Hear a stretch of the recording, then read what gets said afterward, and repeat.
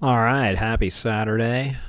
Welcome to day 62 in our uh, daily video series here.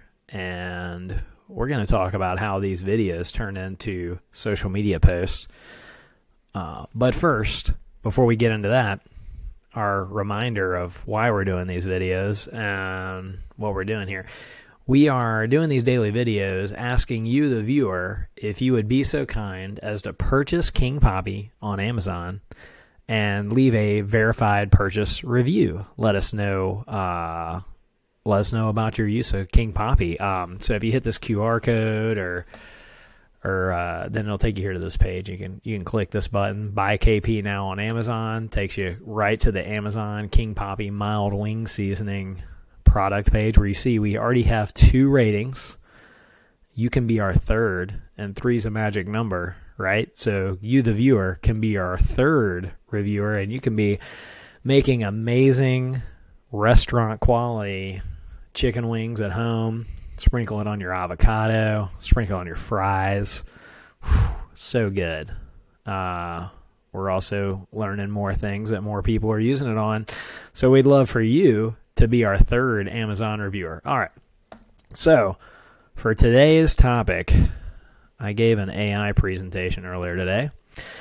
And in the AI presentation, I talked about these daily videos. And it occurred to me that I don't know if I've ever shared this on these daily videos, but um, this is the this is the prompt back here behind the scenes. This is the magic.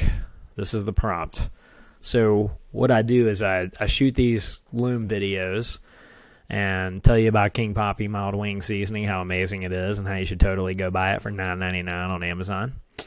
And you know, then talk about something typically marketing related with King Poppy, uh, wing seasoning, or, or something along those lines. And then uh, as soon as I finish this, I'll go to Loom, which is just the the software that's recording this here, showing me in the showing me down here in this bubble and sharing my screen. Uh, so Loom will make the transcripts. So I just uh, get that transcript, and I have one GPT inside Chat GPT Plus or Pro or whatever it is. GPT Plus. Uh, uh, I think it's Chat G- GPT Plus.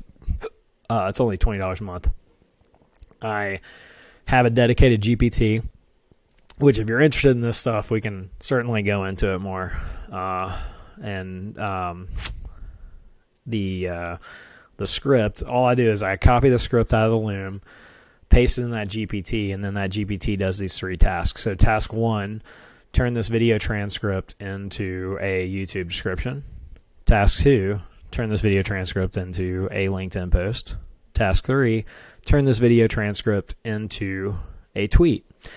So it'll it'll write these three pieces of content for me, and then I'll download the video out of Loom, upload it to YouTube, upload it to LinkedIn on my po- my profile, LinkedIn uh, up the upload it to my Creating Value LLC LinkedIn, and uh, upload it to X, formerly known as Twitter, and I've got the text. So after I hit end on these videos, really, uh, if ChatGPT is running fast and efficient, which most of the time it is, but every once in a while it's sluggish. Um, if it's running fast and efficient, I'm really done with this in five or no more than ten minutes after um, after I hit end on this on this this recording. And uh, now that we've done this for 62 days, or after today, it'll be 62 days.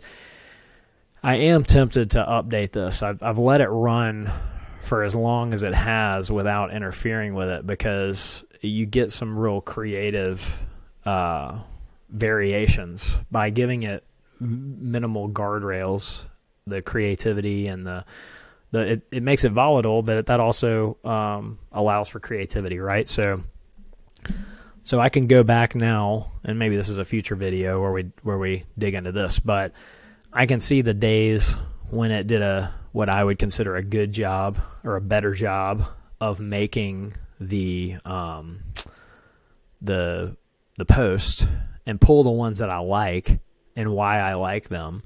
And then I kind of have my little bank of examples for chat gpt and and tell it like you know hey these i like these three or four uh, uh, you know youtube descriptions or or linkedin posts or tweets so this is this is what we're looking for this is what we want it to you know look like and I, with this, I, I don't have to get into a lot of your role as a YouTube uh, description writer or LinkedIn, blah, blah, blah.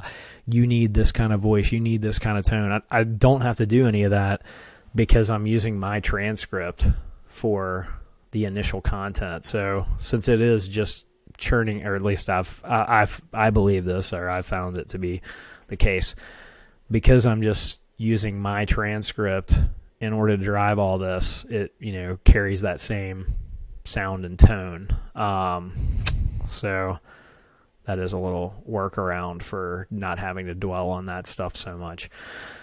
But there's there's your uh, behind the scenes for today on how to do these. I did this presentation today, which was super.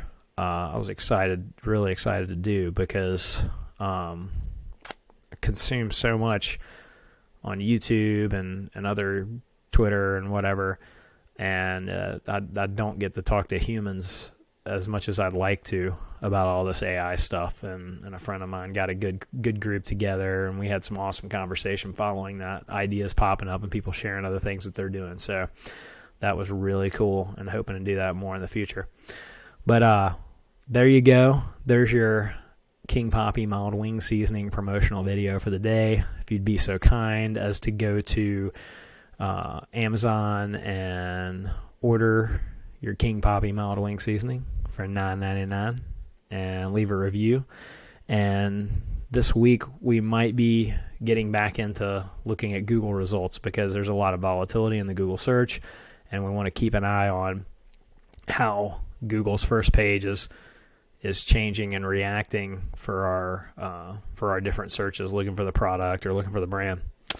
So have a wonderful Saturday night, and we'll talk to you tomorrow. Bye bye.